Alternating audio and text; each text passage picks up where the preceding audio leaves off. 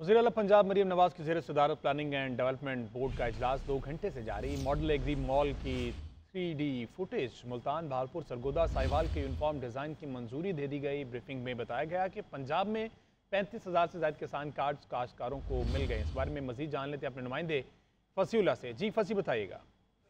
آج بالکل، آج وزیر اللہ پنجاب مریم نواز کی زیر صدارت پلاننگ اینڈ ڈیولپمنٹ بورڈ کا اجلاس ہوا اور دو گھنٹے تک سے زائد یہ اجلاس جاری رہا جس میں مختلف جو ہیں وہ پروجیکٹس کی منظوری دی گئی، جس میں ماڈل ایگری مال کی تھری ڈی فوٹیج اور ملتان باولپور سرگودا سائیوال کے یونیفارم ڈیزائن کی منظوری دی گئی ہے۔ پنجاب میں پینتیس ہزار سے زائد کسان کارڈز، کاشتکاروں کو مل گئے ہیں اور اس جو اجلاس ہے، اس میں متعلقہ افسران کی جانب سے بریفنگ دی گئی اور اس اجلاس میں اس بات پر اتفاق کیا گیا کہ پنجاب میں پہلے فیز میں سات ہزار پانچ سو ٹیوبیل کی سولرائزیشن کا فیصلہ جو ہے وہ کیا جائے گا، جبکہ اگلے جون کی تمیل تکمیل تک بھی یہ جو ہے وہ تمام پروجیکٹس مکمل کیے جائیں گے۔ اسی طرح chief minister agriculture graduate program کو متعلقہ یونین کونسل میں ہی تعینات کرنے کا فیصلہ کیا گیا ہے۔ زرعی پیداوار کی ایکسپورٹ بڑھانے کے لیے اقدامات کا جائزہ بھی اس اجلاس میں لیا گیا، جبکہ پنجاب میں کنولا کی کاشت بڑھانے کے لیے سرکاری اراضی کے استعمال کے لیے بھی اقدامات پر غور کیا گیا ہے۔ پہلے فیز میں جو ہے نو ہزار پانچ سو نو گرین ٹریکٹر کے ڈیزائن اور دیگر امور کی منظوری، وہ بھی اس اجلاس میں دی گئی ہے، جبکہ گرین ٹریکٹر مخصوص فیچر